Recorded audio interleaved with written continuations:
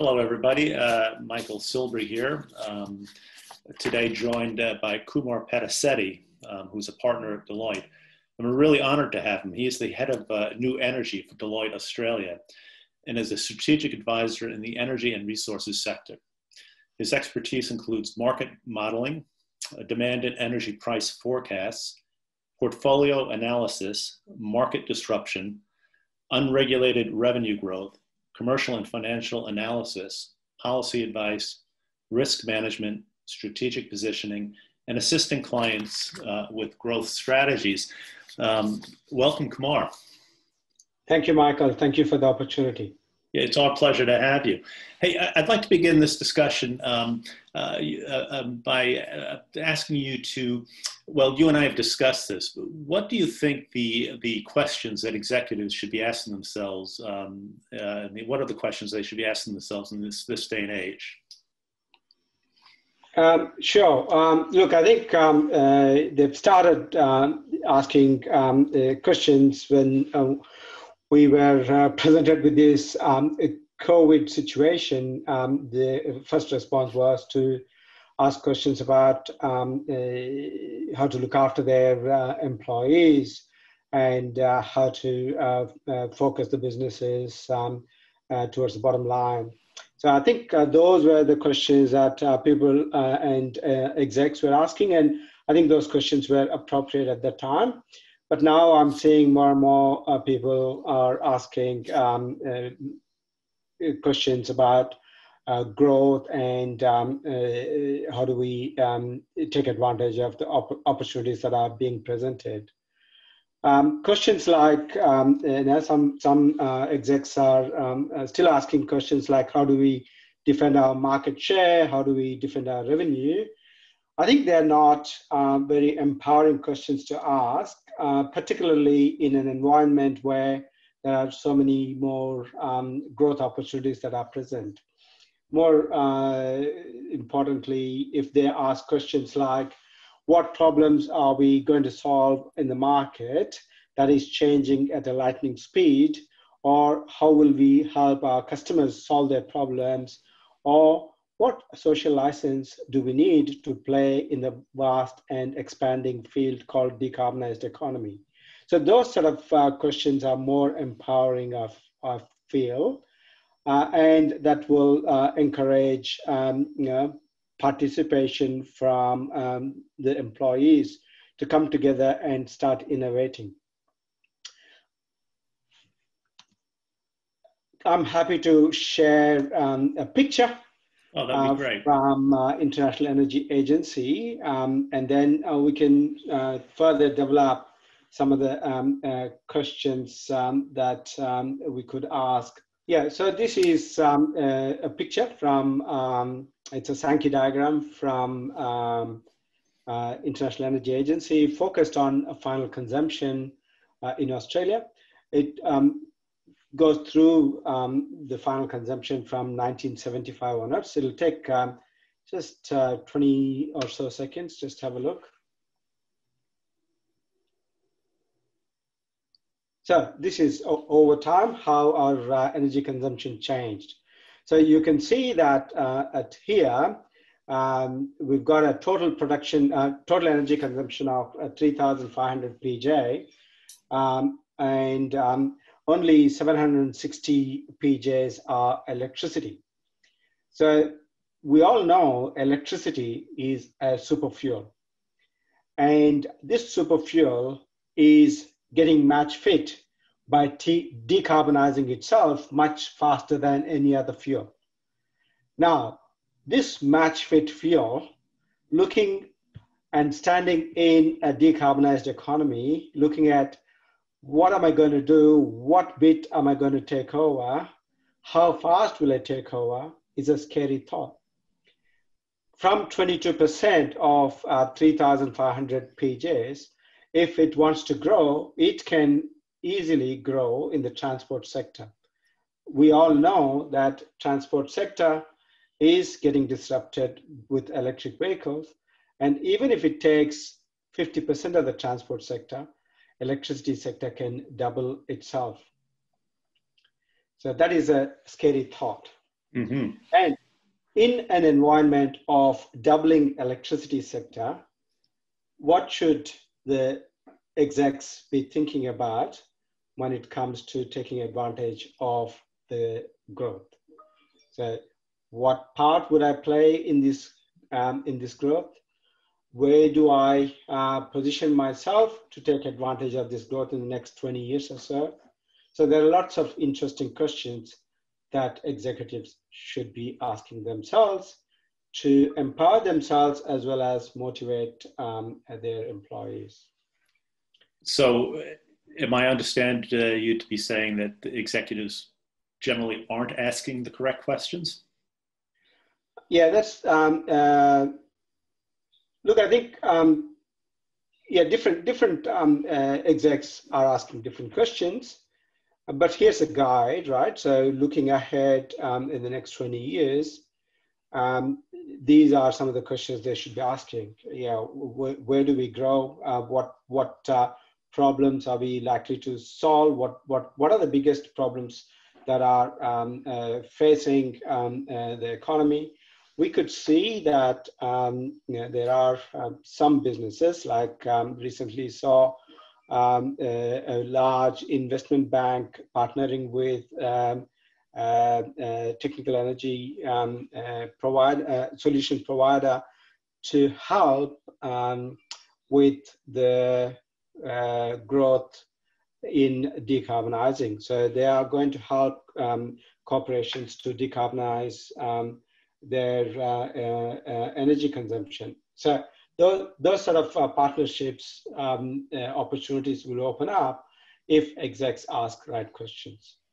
So, so following from that, uh, what, from your perspective uh, and a top line view, what are the three or four major trends uh, occurring in the um, in the electricity market in particular?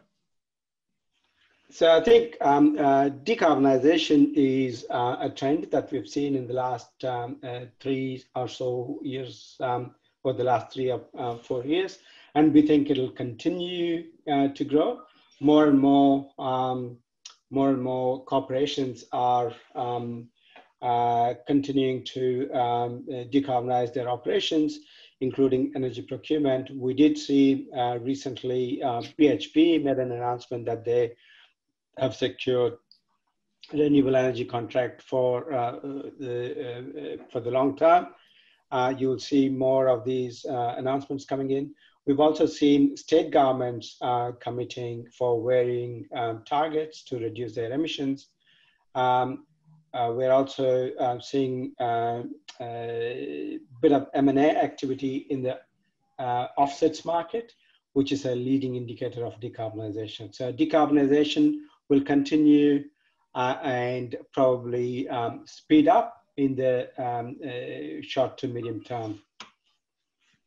Uh, decentralization, uh, once again, we've seen uh, rooftop solar uh, growth increasing. Um, I was just looking up um, the trend in New South Wales. In the last three years, rooftop solar generation went up 25% year on year. Mm -hmm and we think uh, that'll continue to grow uh, across uh, Australia. Um, uh, we also are likely to see distributed uh, batteries and demand side response to continue. So decentralization will continue and accelerate.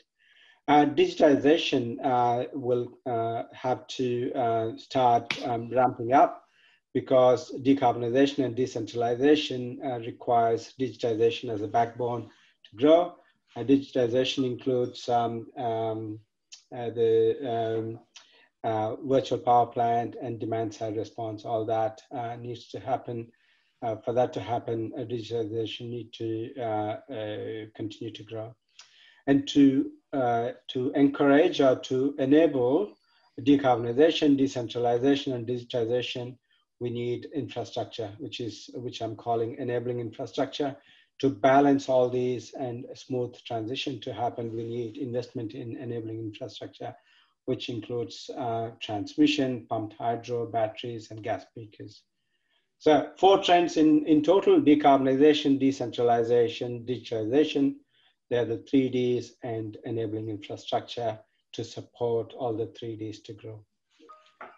So, kind of circling back to um, decarbonization, um, how do you see the energy mix um, in Australia, say five years, 10 years down the road? Yeah, so um, yeah, we we think uh, um, uh, energy mix will um, uh, continue um, what we are seeing, what we've seen in the last three uh, to five years: more uh, wind, more um, uh, solar, more rooftop solar. Rooftop solar growth that we've seen in the domestic sector. It is also making a lot of sense for industrial and commercials to have rooftop, uh, rooftop solar. Uh, so uh, renewable energy will continue to grow. Um, gas power generation, pumped hydro, and batteries unlikely to see major change in uh, in the production of these uh, technologies because pumped hydro does require a bit of um, uh, a bit of a um, time um, to develop. Uh, the fastest pumped hydro we've seen uh, uh, in the international market took five years. So your question is, what's the energy mix for the next five years? change in energy mix in the next five years. Um, so it'll take a bit of time. Uh, and then any major shift in, uh, in the electricity or energy mix is sensitive to the closure of large coal-fired power stations throughout the NEM. Uh, currently, um, uh, closures, coal-fired power stations are uh, uh, expected to close between late 2020s into early 2030s. So, um, what are your thoughts about the role of hydrogen in the um, in the transition and the energy mix? Yeah, so hydrogen has got a, um, a great um, uh, potential uh, to be an important firming technology uh, in in the NEM. Uh, we did uh, do a bit of work um, a couple of years ago uh, for Alan Finkel, looking at, um, you know, we made an assumption that uh, just picked Victoria as a, a, test case, and we said, can uh, uh, we supply pure renewables um, with battery in Victoria? Um, so there is a continuous solar and wind drought uh, of 172 hours in Victoria, uh, which meant that uh, to support um, just the demand during the drought, solar and wind drought, you need 172 hours of backup battery. At this time, with the cost of battery, it is a bit difficult for us to provide that kind of um, support just with um, uh, with battery. And that's when uh, you uh, you need support for gas and um, uh, uh, you know, to decarbonize gas you need hydrogen. So as a firming technology into the future hydrogen has got a good potential. Uh, and also it uh, it does create flexible demand and because you can produce hydrogen when the when there is excess energy that's getting generated and it can potentially provide uh, network support um, uh, in, into the future. But the challenge for hydrogen is um, uh, in the electricity sector is how do you physically produce, how do you store, how do you transport hydrogen in a manner that's safe and flexible. How about cost as it relates to hydrogen? Yeah, so uh, uh, that's a very important question. So uh, the costs do need to come down, but because of the role that it's, it's playing with firming, um, so if you look at uh, firming technologies that are currently available, uh, gas is providing uh, firming. How important uh, is um, uh, the cost of um, gas or cost of hydrogen? Uh, so it, it, in providing the firming technology, currently um, gas um, firming is offered at around between 70 and 110 dollars. So um, uh, hydrogen can provide that kind of firming at, at, that price, but definitely everyone is working towards reducing the costs. And um, you know, when, when the costs do come down, it can become quite competitive. So um, my final question uh, relates to the COVID pandemic. Has, have you seen any uh, structural changes or, or, will there be any structural changes in the industry because of the COVID um, uh, crisis? Yeah, uh, I think that's a that's a, a good question. So uh, what we've seen um, uh, during COVID is obviously um, demand in um, in the C&I customer segment, but we did uh, we did notice increase in demand for um, domestic use. Um, so that is during COVID, that's what we've seen. And then the other thing we are seeing is the increased number of customers are entering into hardship program uh, uh, that includes um, uh, some of the commercial customers as well. Um, this could have some impact on the financial viability of um, some of the retailers and the bad debts continue to be significant risk for retailers. So that's that's what we've we've seen in the short term. In the long term, um, we do think that growth in um, uh, working from home will continue, uh, probably not as much as what we're seeing, but um, it does mean that there'll be growth in uh, domestic uh, demand. Um, and um, uh, there is a huge opportunity for um, uh, the response that we are seeing with the government providing more stimulus packages. Um, there's, uh, we will see more um, encouragement to decarbonization and also there is an opportunity for um, uh, for our economy to uh, converge. Uh, there could be a speeding up of convergence between transport and electricity sector. That's great. Uh, Kumar, listen, I wanted to thank you for your time uh, and looking forward to seeing you as the moderator of our CEO panel at our event in March uh, next year, March 10th and 11th next year in Melbourne. Uh, it's going to be a lively panel, particularly with you as the moderator. So again, uh, thanks for your time. Thank you. It's uh, it's been a pleasure participating we'll, in this. We will talk to you soon. See you then. Bye, Mike.